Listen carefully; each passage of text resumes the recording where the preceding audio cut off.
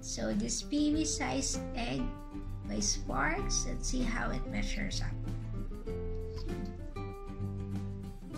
So it's about almost two inches.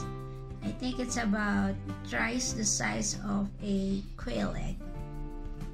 Now let's see how it tastes like, if it's worth it.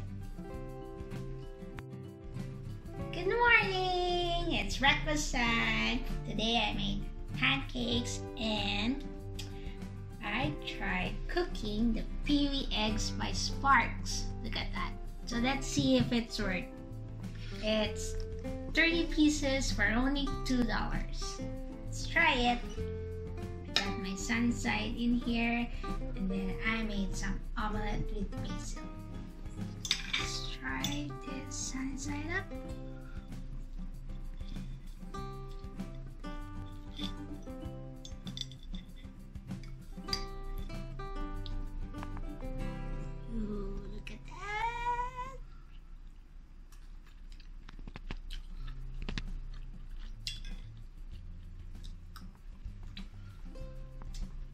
It's actually good. It's not like malangsa.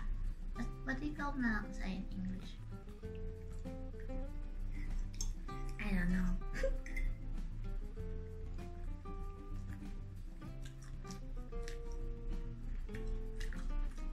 Tastes like the big ones. Let's try my omelette.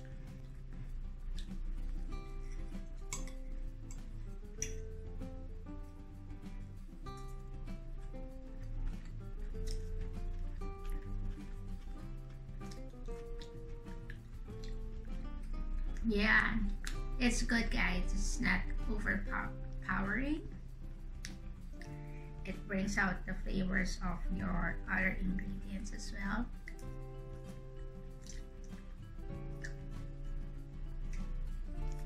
So, my review would be it's worth it! So, you can go ahead and buy the Sparks eggs, peewee sizes. Thank you for watching my breakfast episode.